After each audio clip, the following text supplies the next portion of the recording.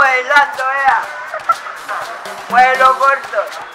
Es como dice la niña, que ñatico como está de blanco. Usted cuando ha visto un modelo corto.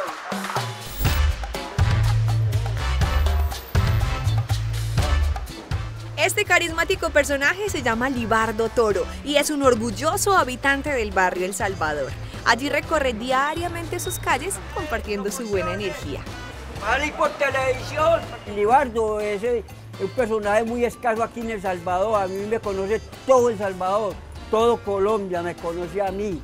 A mí me dicen el ñatico, muy querido. Pero yo me llamo el Libardo, pero nombre a mí todo el mundo ñatico, ñatico, ñatico. Pero, ¿por qué le dicen ñatico? Yo no soy ñato, sino que contar que, contar que nazca ñato, contar que respire. El ñatico es una persona muy servicial con la gente a su alrededor. Por ello, se ha ganado el cariño de todos.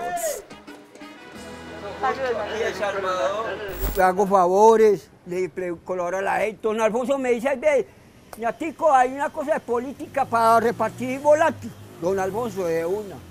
Y a mí me conoce todo el barrio, reparto, me meto todas las partes, no hay peligro de nada. Me conocen en Manrique, en Aranjuez, en todos los barrios de Medellín me conocen a mí, a Libardo Toro, como, más conocido como el ñatico. Y además de compartir con sus vecinos, también muestra su talento musical de vez en cuando. La despedida de Daniel Santos siempre empieza la trompeta. Yo la hago con la boca.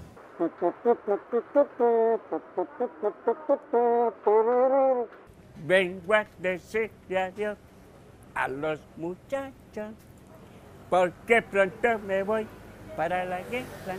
Y aunque vaya a pelear en otra tierra, voy a salvar mi derecho, mi patria mi fe. Yo ya me despedí de mi adorada y le pedí por Dios que nunca llore, que recuerde por siempre mis amores. Sí, ahí me encuentran yo tú, el que quiera verme. Libardo vive feliz en El Salvador, pero ¿por qué es tan bueno su barrio? ¿Y por qué es tan bueno? Porque va a cinco minutos al centro. Allí está la Avenida Oriental, las torres de Bomboná. Va hacia abajo uno a pie, puta, a don Alfonso, sí, don Alfonso. Este es el mejor barrio que hay en Medellín.